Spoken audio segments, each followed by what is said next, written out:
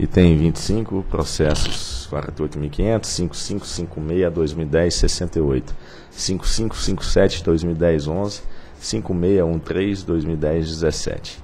Alteração de características técnicas e do cronograma de implantação e transferência para as empresas Eólica Vento Energias Renováveis SA, Eólica Wind Energias Renováveis SA, Eólica Brisa Energias Renováveis, das autorizações referentes respectivamente às centrais geradoras eólicas REB Cassino 1, REB Cassino 2 e REB Cassino 3, outorgadas por meio das portarias MME 153, 162, 152, todas de 2011, localizadas no município do Rio Grande, no estado do Rio Grande do Sul. Diretor relator, Dr. Romeu Donizete Fufino.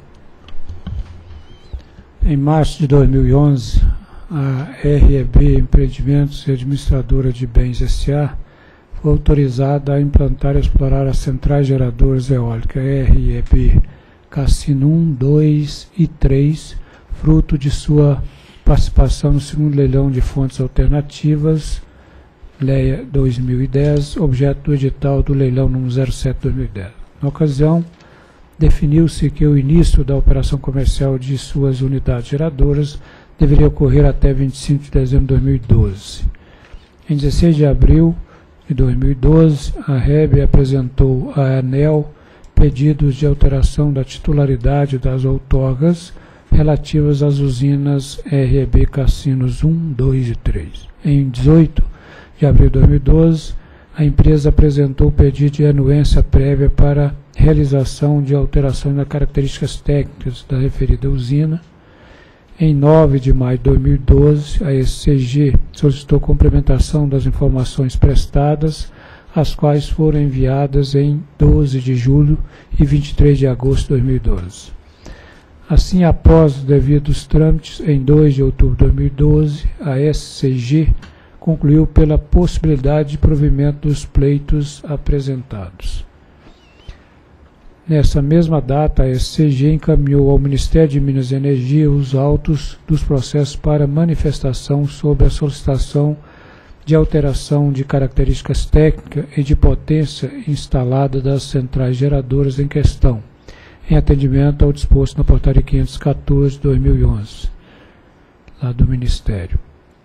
Em 16 de novembro de 2012, o MME encaminhou à ANEL a nota técnica 149 de 2012, de 22 de outubro, e a memória da, da reunião realizada entre o Ministério e a EPE em 31 de outubro de 2012 manifestando-se de forma desfavorável quanto à alteração da capacidade instalada dos empreendimentos.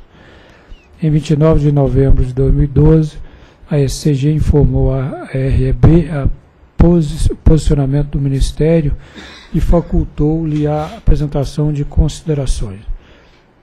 Em 20 de dezembro de 2012, a REB apresentou seu posicionamento requerendo que a manifestação desfavorável do Ministério e da IPE fosse desconsiderada, aprovando-se seu pedido. Nessa mesma data, a SCG solicitou a manifestação da SEM a respeito do assunto. Em 21 de fevereiro de 2013, a SCG encaminhou os processos em epígrafo para o Ministério de Minas e Energia para complementação de sua análise, que encaminhou a pedido do Ministério. Em 26 de março de 2013, a SEM encaminhou à SCG sua manifestação.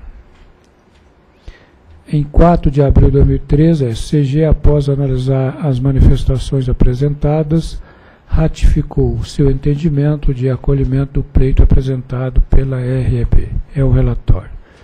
Procuradoria. Sem comentários jurídicos.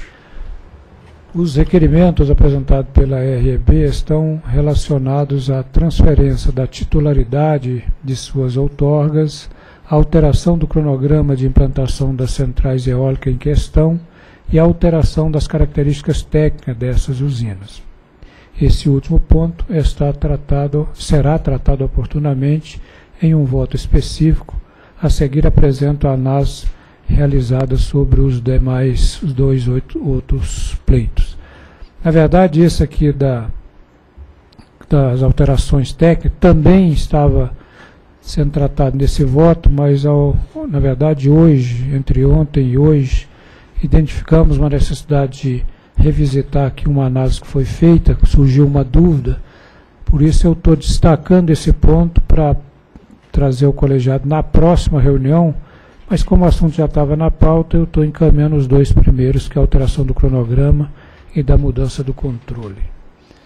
Então, o primeiro tópico diz respeito à transferência da titularidade. Trata-se de transferência da REB para a empresa eólica Vento Energias Renováveis SA, Eólica Wind Energias Renováveis SA e Eólica Brisa Energia Renováveis SA, das autorizações referentes, respectivamente, às centrais geradoras eólica REB Cassino 1, 2 e 3.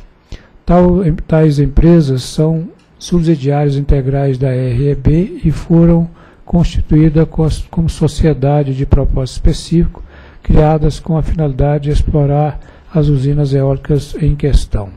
A alteração pleiteada encontra respaldo no item 2.5 do edital do leilão 07-2010, que diz lá que poderão opcionalmente constituir uma SPE, preferencialmente sob a forma de sociedade anônima, para receber outorga às vendedoras que participarem isoladamente ou em consórcio no leilão. No caso de vendedoras que participaram do leilão isoladamente, a SPE deverá ser subsidiária integral da vendedora.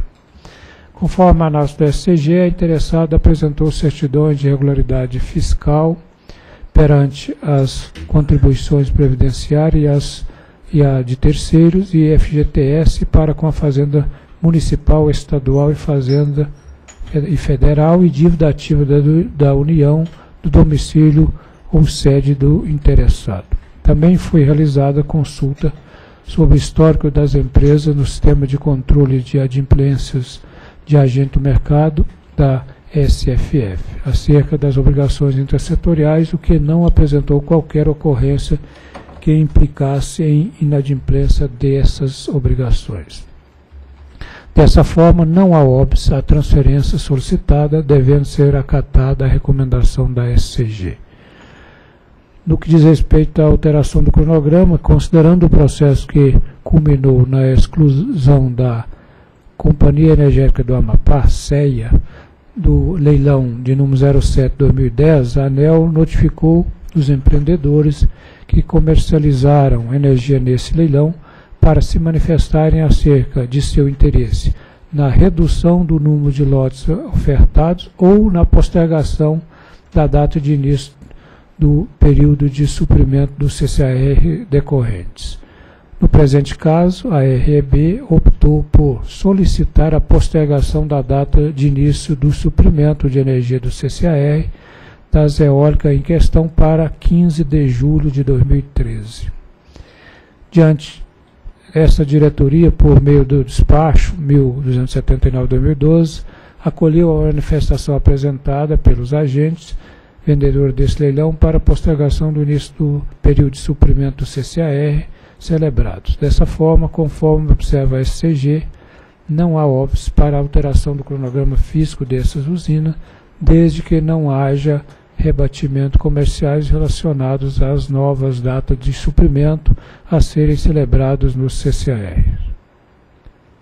O novo cronograma de proposta proposto pela REB é o apresentado a seguir. Então, é um cronograma que tem todas as etapas que leva o início da operação comercial das unidades geradoras à data limite lá do 15 de julho de 2013. Cabe destacar que, considerando que as datas de operação comercial dos aerogeradores de número 9 a 11 haviam sido inicialmente propostos para uma data posterior ao novo início de suprimento do CCAR, no caso 15 de julho de 2013, a REB apresentou requerimento para retificação das datas de início da operação em teste comercial na forma apresentada na tabela anterior. Dessa forma, considerando a análise da SCG e o disposto no despacho 1279-2012, não há óbice para alteração do cronograma. Então, passo ao dispositivo.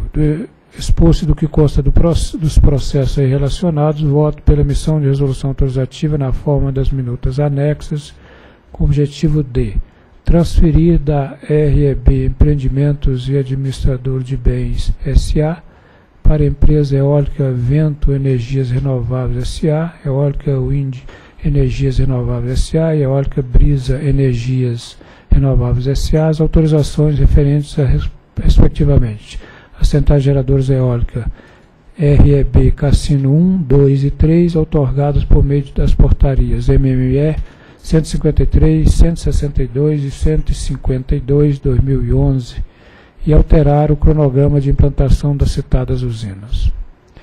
É o voto em discussão. Em votação. Voto com o relator. Também voto com o relator. Também voto com ela. Então, proclamo que a diretoria decidiu pela emissão de resolução autorizativa que visa eh, transferir os empreendimentos eh, Eólica Cassino 1 e 2 e 3 na forma relatada pelo relator e alterar o cronograma de implantação das citadas usinas. Próximo item.